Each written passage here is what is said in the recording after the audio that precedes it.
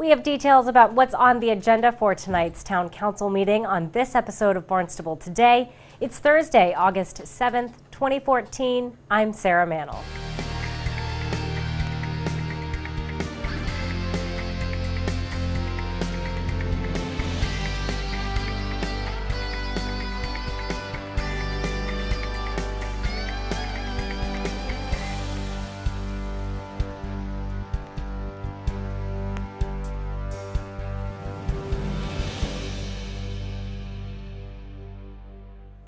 The agenda for tonight's Town Council meeting is not long, but is substantial. Barnstable This Morning host Sarah Colvin caught up with Town Council President Jessica Rapp Grassetti to find out more. Tell me a little bit about what uh, is on the orders of the day. What's on the agenda for the meeting?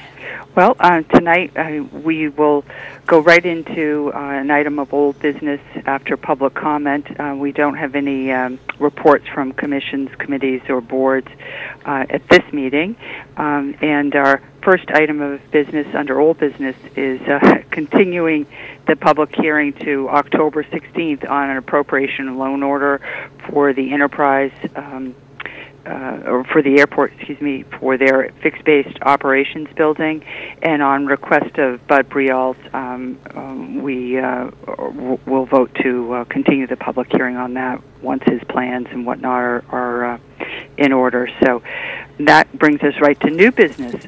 Indeed, and uh, certainly, you know, not a, not a long list, uh, but some but some pretty chunky items uh, under new business. Um, tell me a little bit about what the first item is, Jessica. Yeah, the first one, you know, and this is um, regards to the land swap. Uh, I'll say um, in the um, uh, conservation area uh, with the shooting range, and this the first item would be approval of the change um, in management and control of the two parcels, one being uh, the West Barnstable Conservation Area, and the other being, uh, we'll call it the Breeds Hill area, and having a land swap there. Now, uh, this all came from the uh, uh, Conservation Commission, who voted to uh, take take the land out of conservation, um, and then um, they no longer needed for that. And then the Breeds Hill area, um, that land was in municipal use, and they want to remove it from municipal and put it into conservation. So essentially, a land swap for that. And um, this is all stemming from the. Uh, uh, the fact that the uh, uh, she's, it's going to be uh, two years in December when the shooting range was closed because of the town's insurance carrier no longer having coverage uh, on the policy there.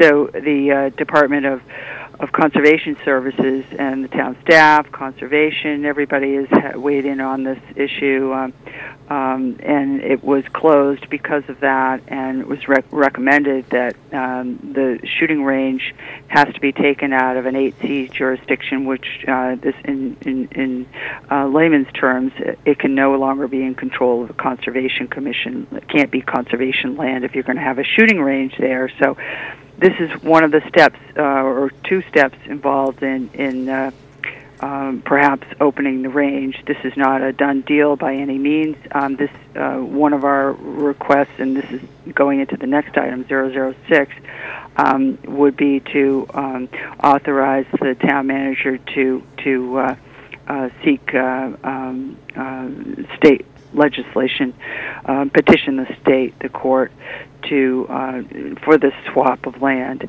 and this and that needs a two-thirds vote of the legislation as well as from the council. So, before anything can happen, the state has to um, to vote on it, and I don't see that, uh, frankly, happening until uh, you know January, the January session. So, uh, you know, we're in a wait and see. Um, pattern, a holding pattern there. I know there's people anxious to keep the shooting range closed and those that are anxious to see it open, but um, we have to take the steps, um, uh, you know, uh, with with care. So in, in, that process. Indeed, and really, as you said, uh, a lot. Really, there are a, a, great deal of moving parts when it comes to the shooting range. And I know that you know that while the, the land swap discussion is on the table, there have been some improvements made. There there's uh, plans in place to have a range safety officer, et cetera. So uh, certainly, um, still more work left to be done. But I'm sure it will be interesting to see what happens uh, at tonight's meeting.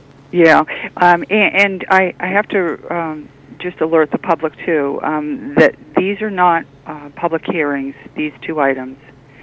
If uh, um, if anyone from the public wishes to speak regarding an item coming up on the agenda, we we do have public comment prior to the orders of the day, and that's when I'll be accepting public comment. And I, I would ask that if we have a, a, large group of people that are against this happening, that perhaps one person speak on their behalf, and vice versa, um, so that we can get through the orders of the day. The other the other thing too to remind people is um, now that we have uh, item numbers attached to these items, they can comment on the agenda comment form online. So if they want to submit anything in writing, to have part of the uh, uh, public comment. Indeed, and I think it's important for people to know that the public hearings on these matters were held at the Conservation Commission meetings uh, in the past. So there, right. there, has been a chance that has gone by, but it's definitely very important to know That's that right. these particular items are not up for a public hearing at uh, tonight's meeting. That's right, right. And following uh, those two items, a couple of uh, C- CPC approvals. Tell me a little bit about uh, the 07 and 08. Yeah, these would be first reads, um, and these are referring a public hearing to September. I can't believe we're referring something to September already. Unbelievable. Goodness. Um, one, one is for the uh, rehab of the skate park and basketball courts at uh, Barnstable Community Horace Mann Charter Public School. And uh, the skate park is actually located at the Hyannis Youth and Community Center. And they're looking for um, authorization to expend $71,911 uh, to that end. And I, I, I guess, you know, that sees a lot of activity at that skate park, especially really does.